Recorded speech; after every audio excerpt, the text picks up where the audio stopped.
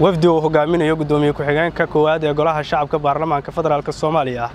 Sacdiyo yaasiin qaybna ay ka ahaayeen wasiirada wasaaradaha badroolka iyo haweenka cabdirasaaq cumar maxamed haweenka iyo khadiijo maxamed deeriye. Saraakiil ciidan ayaa maanta soo gaaray degmadaha buulaburde ee gobolka hiiraan waxaana garoonka degmadaha buulaburde ku soo dhoweeyey wafdigani maamulka degmada buulaburde xildhibaano ka tirsan baarlamaanka federaalk soomaaliya. Saraakiil ciidan iyo bulshada qaybaheeda kala duwan soo dhoweyn kadib wafdigan ayaa waxaa loo soo gelbiyey gudaha degmadaha buulaburde halkaasi oo ay kula kulmeen maamulka degmada buulaburde odayaasha dhaqanka iyo bulshada qaybaheeda kala duwan. Ayagoona uga warramay bulshada ku dhaqan degmadaha buulaburde dagaalada ka socda hiiraan